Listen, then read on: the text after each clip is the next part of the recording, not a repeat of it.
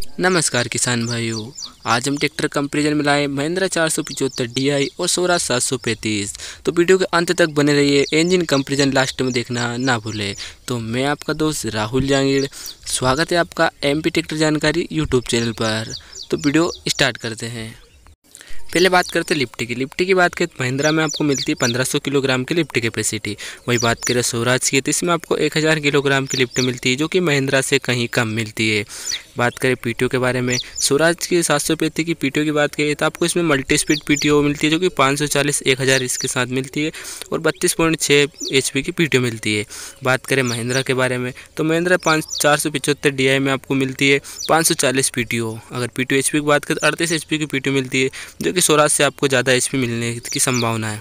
बात करें गेयरबॉक्स के बारे में तो महिंद्रा में भी आपको आठ फॉरवर्ड और दो रिवर्स गियर मिलते हैं। स्वराज की बात करें तो उसमें भी आपको आठ फारवर्ड और दो रिवर्स गियर का ऑप्शन देखने को मिल जाता है। अब बात करते हैं हम। बात करें महिंद्रा के कूलिंग सिस्टम की थी वाटर कूल ट्रैक्टर है और इसमें एयर फ़िल्टर ऑयल बात देखने को मिल जाता है। बात करें स्वराज की तो इसमें three state oil bath type मिलता है, जो कि कूलिंग सिस्टम वाटर कूल आता है, जो with no low loss tank के साथ आपको देखने को मिल जाता है। बात करें क्लच के बारे में तो आपको सिंगल और डुअल क्लच ड्राइफिकेशन के साथ मिलता है, जो कि स्वराज सात सौ पैंतीस में आपको देखने को मिल जाता है। बात करते हैं महिंद्रा की। महिंद्रा क्लच प्रेस की बात करें, इसमें ड्राई फिक्सन क्लच देखने को मिल जाती है, जो कि सिंगल और डुअल क्लच ऑप्शन के साथ आपको देखने को मिलती है। तो क्लच के बारे में दो ही ट्रैक्टर में एक समान क्लच प्लेट दी गई है। अब बात करते हैं हम, अगर ब्रेक की बात करें तो आपको महिंद्रा में ड्राई डिस्क ऑयल लिमस ब्रेक का ऑप्शन मिलता है। स्वराज में भी आपको ऑयल लिमस और ड्राई डिस्क ऑप्शन देखने को मिल जाता है। टायर साइज़ की बात करें तो महिंद्रा में छः सोलह के फ्रंट टायर देखने को मिलते हैं। स्वराज सात सौ पैंतीस में भी आपको छः सोलह के फ्रंट टायर मिलते हैं, एक समान टायर मिलते हैं सामने के। रियर टायर की अगर बात करें तो महिंद्रा में आपको बारह चार अट्ठाईस और तेरह छः अट्ठाईस के देखने को मिल जाते हैं। स्वराज में भी आपको बारह चार अट्ठाईस और तेरह छः अट्ठाईस एक समान टायर साइज़ देखने को स्ट्रिक्टर एक समान टायर साइज़ देखने को मिलते हैं। अब बात करते हैं इंजन कंपेरिजन की, जो कि एस और किलोवाट के साथ होता है। अगर बात करें सोलह सात सौ पैंतीस की इसमें आपको तीन cylinder, four stroke, direct injection, diesel engine देखने को मिलता है, जो two point seven three eight litre का एक इंजन आता है। किलोवाट की बात करें तो छब्बीस पॉइंट नौ से उनतीस पॉइंट बयासी किलोवाट का इंजन आता है, जो अट्ठारह सौ रेटेड आर में आपको प्रति मिनट जनरेट करके दे देता है।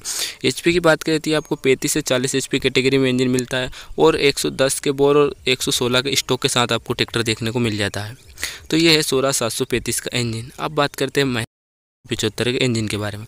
इस ट्रैक्टर के इंजन बात करें तो आपको फोर चार सिलेंडर का four stroke natural aspirated diesel engine मिलता है, जो two point seven three zero litre का एक इंजन आता है, जो इकतीस पॉइंट इकतीस किलो वाट का इंजन है और उन्नीस सौ रेटेड आर आपको प्रति मिनट जनरेट करके देता है और साथ ही आपको बयालीस एच की ताकत दे देता है। अब बात करते हैं आखिर कौन सा ट्रैक्टर आपके लिए लेना सही होगा।